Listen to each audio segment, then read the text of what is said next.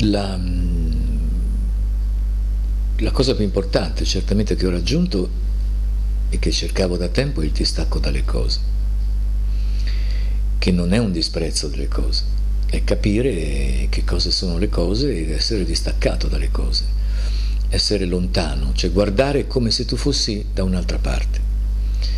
E, e questo mi ha, non solo mi ha aiutato eh, nei momenti difficili, nei momenti, ma mi ha dato la, la vita, insomma, io comprendo tutto adesso perché vedo tutto sempre da lontano.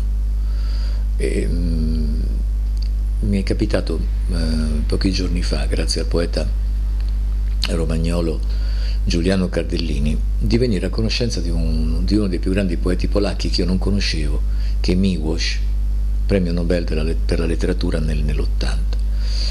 E io ho avuto modo, ho recitato al Bonci di Cesena questo, ho interpretato proprio Miłosz eh, in questa serata a lui dedicata, fatta dall'Associazione Italo-Polacca, e lui, mh, che era inconsapevole di certe cose, parlava apposta eh, proprio della, della, di quello che gli ha dato il distacco dalle cose. Ricordiamoci che lui era stato esiliato per 40 anni, 50 quasi, era un, eh, un poeta in esilio, era una persona che ha sofferto tantissimo e il distacco dalle cose lo ha aiutato a, ad avere questa grande forza e ad avere proprio artisticamente a raggiungere risultati che altrimenti sarebbero stati impensabili. E che poi il distacco non è il distacco dalla realtà, è il distacco dall'illusione, dall'illusione delle forme, per entrare nel mondo della realtà vera, non quella che appare. Quindi in, realtà poi è un distacco per modo di dire, cioè non, non c'è... però è, è, credo ciecamente a quello che dicono i grandi saggi e del mio Vangelo, che ci colpisce soltanto ciò che noi permettiamo che ci colpisca, nient'altro, non ci può colpire altro. Quindi noi abbassiamo la guardia appositamente e facciamo entrare delle cose.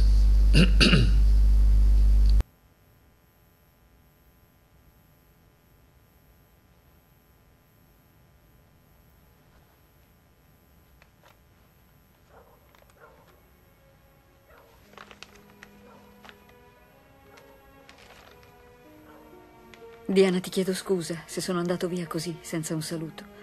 Preferisco che la felicità del nostro incontro non venga turbata dalla consuetudine di un rapporto che alla lunga si rivelerebbe misera cosa di fronte all'intensità delle nostre emozioni.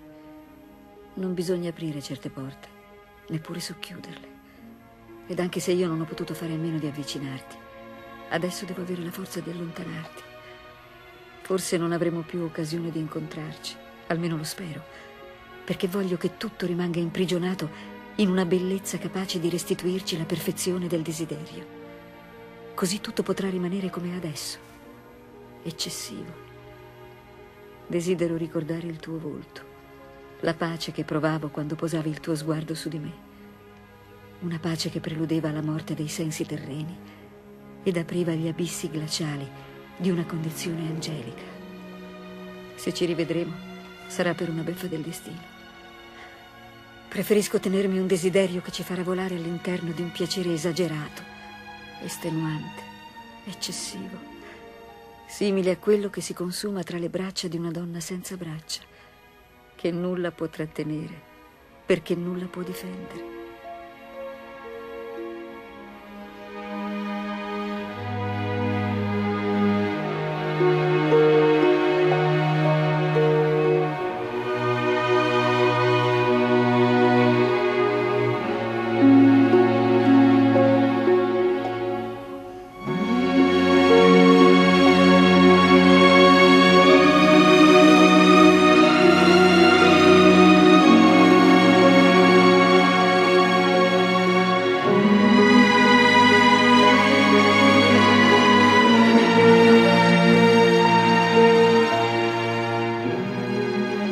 preferisco tenermi il desiderio.